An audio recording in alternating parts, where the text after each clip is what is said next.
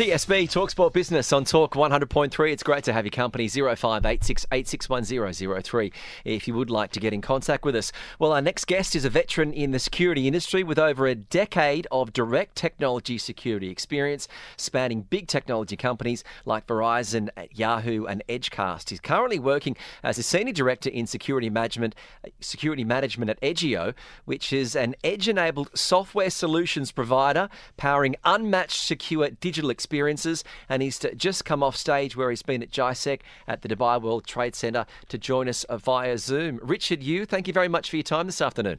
Hey, thanks for having me here. It's good to uh, be here. Uh, first time at Dubai, so um, hope uh, we have some great experience here. Well, I'm, I'm so sure uh, Dubai definitely is a lot more than uh, just that little stage at GISEC. I'm sure that you'll be enjoying your stay here in uh, Dubai, Richard. Oh, I, I probably walk uh, more than five miles in the cities. Um, so I got uh, the first days of Dubai um, in my first few days. Um, it's it's uh, I'll say it's exceeded my expectations certainly. Good, good to hear. Someone who does a lot of walking around the city, I love it because you, you'll find a great place to walk, and then the road will just stop. So then you, you might find that a few times and uh, it'll keep going. But look, Dubai aside, you, you are here because you're speaking at GISEC and the idea of security, digital security, um, everyone is conscious about this more and more because every day we're needing two factor or authenticity to log into our bank accounts and our email accounts. But um, over the last 12 sort of 18 months, in your experience, um, what, what have been the major forms of cyber attacks and what has that impact been on government and business?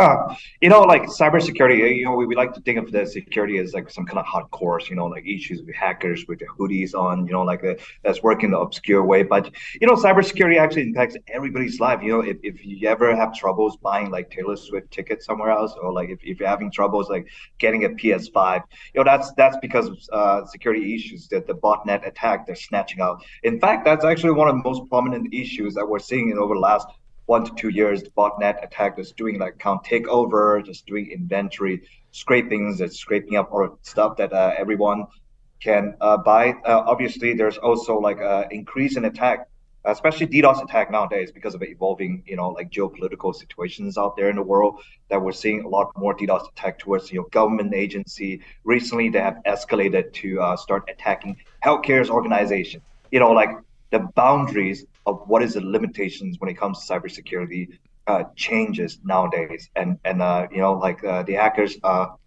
that constantly pushing the boundaries. You know, like more and more nowadays. So when you say you know the boundaries are changing and every day one has to be prepared, what are those best practices that one has to follow, irrespective of uh, you know whatever level of threats you're facing? Uh, well, I mean, as an individual, right? You know, always stay vigilant. Just like you know, when you're out in the street, you know, you practice like common, you know, common sense. You know, you, you got to practice common sense with with your um, security practice. Make sure your computers are locked. Make sure you have two-factor authentications. Make sure you don't use the same password over and over again. You know, I have no idea how common it is. You know, oh, and and guess what? You know, most of the attackers, um, they're they're actually end users. You know, what we're saying as Edgio, like we, we have infrastructures around and we're so close to the end user because when we're close to the end user, we're close to the attackers. You know, as, as an attackers, the, the attack often come from, I, I guarantee one of your devices somewhere in your office okay. is compromised and used as a robot to attack. So mm, who knows? It might be your iPhones, right? Yeah. Um, well, because so, I, so, yeah, you got I, I, spoke to my dad today, and uh, I mentioned uh, we had a cybersecurity expert on. He had a couple of questions for you, so so so bear in mind, Dad struggles oh, wow. struggles with Zoom, but he was he was wondering uh, what is the best anti-software to get for his Mac. Are you are you do you oh. have any experience? Like, do we really need anti-software, uh, antivirus software? Oh well, you do. Um, but um, well, it, it's always a best practice. Um, there, there's actually many good providers out there, so um, I, I don't think it's my okay. place to uh, recommend okay. what's best product uh, for you. Oh, what what about in relation to using VPNs for security? Is that something you'd recommend for most users at home? Oh yeah, yeah, absolutely. You know, like uh, for VPN, yeah, I, I know you guys uh, just use VPN to bypass Netflix geo restrictions. No, no, no, uh, not at all. Never. no, no, not at all. but I, I, think it's, it's actually a good practice uh, to implement VPN. Like if, if nothing at all, is to ensure your privacy because a lot of VPN provides encryption so that you know the government agencies or whatever, like um, ISP, cannot sniff on your data, right? Um, this way, like your communications can stay private. When I say communications, it's either verbal or like just internet communications in general can stay private. So it's, it's definitely a good policy. Um, there's just many VPN providers you can use on your phone or your computer. That's right. You know, but then uh, see, you know, one thing that is for sure, which is again, as you mentioned, that uh, you know, it's it's not it's common sense to keep those uh, security measures at uh, at at uh, hand, but it's not, as I say, that common sense is not very common not too many of us actually follow that trend. There are those challenges that we face on a daily basis. Multiple accounts that we have, uh, you know, uh, all of us probably would have at least three to four email accounts. Uh, you know, then Netflix and and Prime and I don't know what all, and then some bunch of shopping websites that we shop from. How do we keep a tab of all of those passwords uh, is is there like a password creator or a password generator or a storage place where we can safely keep those passwords because for me you know, I, I, I do maintain a little diary. I write them down, but then I'm, I'm scared that if I lose that diary, I'll probably lose everything.